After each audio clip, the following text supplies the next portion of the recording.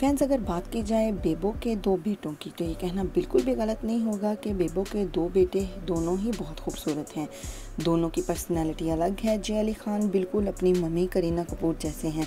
जय अली खान को रिसेंटली देखा गया है मम्मी करीना कपूर के साथ एक सेट पर, जहाँ पर करीना कपूर शूटिंग में बिज़ी थी और उनके बेटे जय अली खान और तैमूर अली खान उनको शूटिंग पर ड्रॉप करने आए। दोनों ही बहुत खूबसूरत लग रहे थे। अपनी नानी बबीता की बर्थडे पर भी जय अली खान बहुत ज़्यादा क्यूट और ख़ूबसूरत लग रहे थे। जय अली खान को फैंस इसलिए भी ज़्यादा लाइक करते हैं क्योंकि वो बिल्कुल अपनी मम्मी करीना कपूर जैसे हैं। इनकी फ़ैन फॉलोइंग बहुत ज़्यादा है। जय अली खान के भी बहुत सारे फ़ैन्स हैं। हालाँकि जय अली खान अभी बहुत छोटे हैं, लेकिन उनको पब्लिक बहुत ज़्यादा पसंद करती है।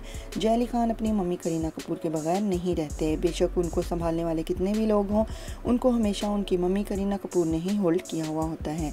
वीडियो को लाइक करें, चैनल को सब्सक्राइब करें, अपना ढेर सारा ख्याल रखें।